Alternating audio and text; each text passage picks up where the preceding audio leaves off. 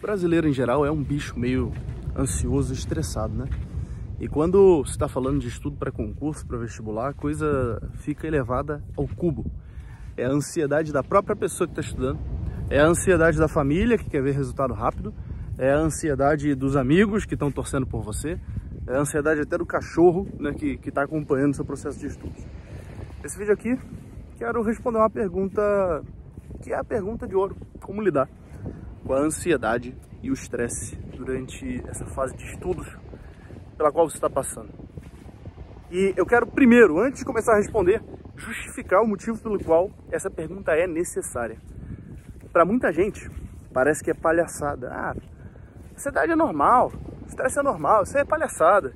Cara, mas não é. Na verdade é que a gente olha para essas trajetórias assim, pessoas que já estão há oito anos estudando para medicina, oito anos, dez anos estudando para um concurso, você percebe que não é normal, no sentido de saudável, né? Pode até ser normal no sentido de norma, mas não no sentido de saudável, que você fique tanto tempo para fazer um negócio que outras pessoas conseguem em dois anos, em um ano. O que diferencia uma pessoa que consegue o resultado rapidamente e a outra que fica ali vários e vários anos é exatamente a falta do domínio da própria mente.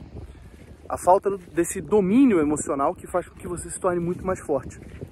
É o que eu chamo de equação fundamental da aprovação. A maioria das pessoas está olhando é, só para um fator dessa equação, que é o seguinte: domínio do processo de estudo. Tá bom, de fato você tem que dominar o processo de estudo, você tem que ter disciplina para estudar, tem que estudar muitas horas todos os dias, tem que saber né, fazer revisões, tem que ter compromisso, você tem que ter tudo isso, verdade. Mas você também tem que ter domínio da sua própria mente. Senão você, sendo seu pior inimigo, você vai literalmente destruir as suas chances de aprovação. Então, esse domínio da sua própria mente, ele não é só um domínio psicológico no sentido de você ficar afirmando coisas para você mesmo, né? que virou moda agora isso. Você falar, ah, eu sou, vai na, na, na frente do espelho, né? Eu sou confiante, eu sou capaz, eu sou isso, eu sou aquilo.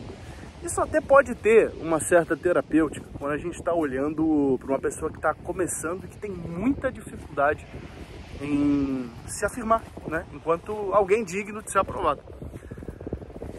Mas perceba que isso não vai sustentar por muito tempo. É a mesma coisa do vídeo motivacional. O vídeo motivacional, ele não é um negócio que dura muito. Você consegue um certo resultado com ele, mas 10 minutos depois você precisa já assistir outro vídeo motivacional e outro vídeo motivacional e outro vídeo, outro vídeo, outro vídeo. Porque isso não acaba nunca. Você vai se tornar escravo daquilo. Agora o pessoal que produz vídeos motivacionais já, já até coloca assim, né? Assista isso aqui todo dia de manhã. Tipo, você já tem uma audiência cativa, né? Tem alguém vindo ali para frente. Olha que maneiro.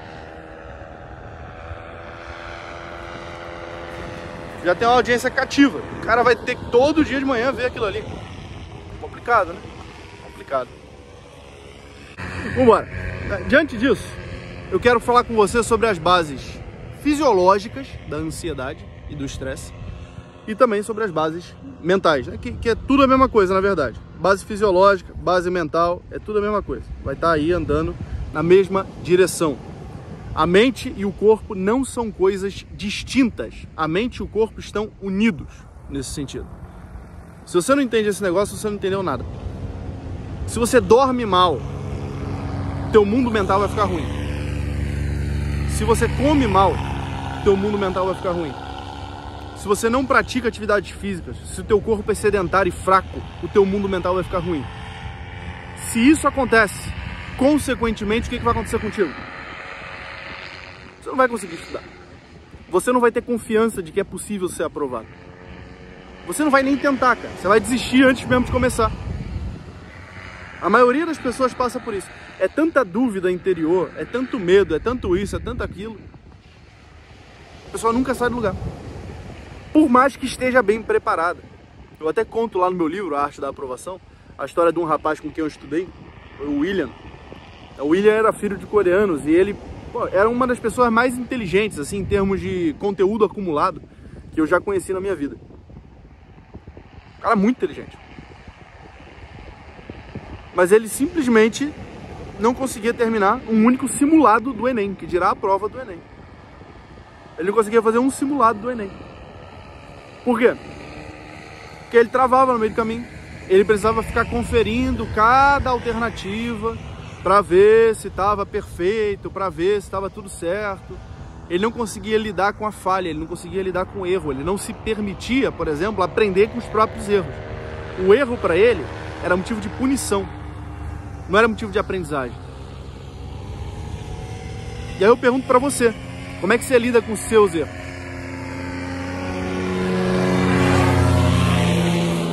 Como é que você lida com as suas falhas?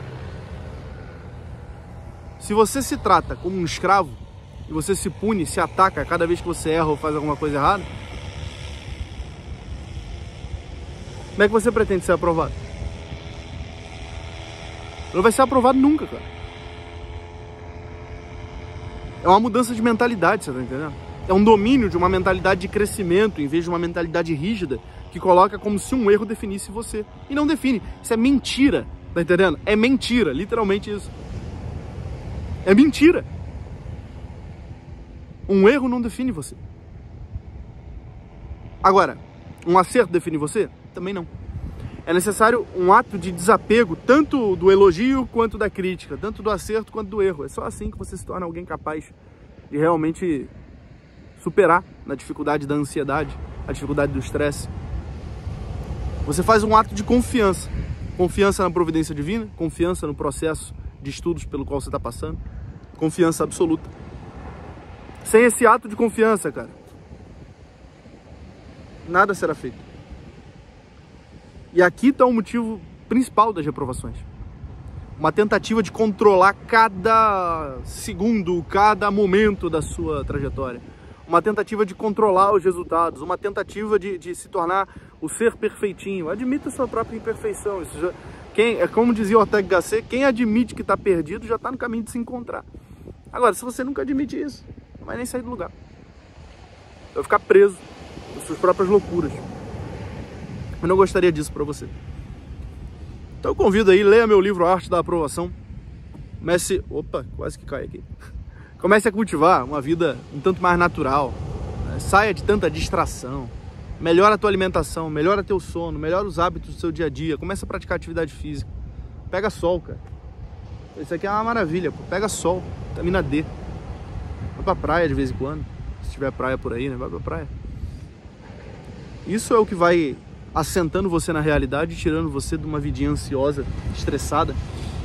Porque quando você não está olhando para a realidade com profundidade, só o que sobra é o nervosismo e aquela ação, uma ação superficial, uma ação nervosa, sabe? Um nervosismo e muito mais do que um nervosismo, uma pressa, um estresse, uma, uma é, ação irrefletida. É o que caracteriza o estudo da maioria das pessoas, e não só o estudo, é o que caracteriza a vida, o dia a dia da maioria das pessoas. Primeiro vídeo que eu gravei aqui para o YouTube, eu falei isso, né? A forma como você lida com o concurso é a forma como você lida com a sua vida. Se você é uma pessoa estressada, mesquinha, superficial na sua vida, você também será no seu estudo aí para o concurso vestibular. Não tem o que fazer. Tá bom? Forte abraço, fica com Deus, conta comigo.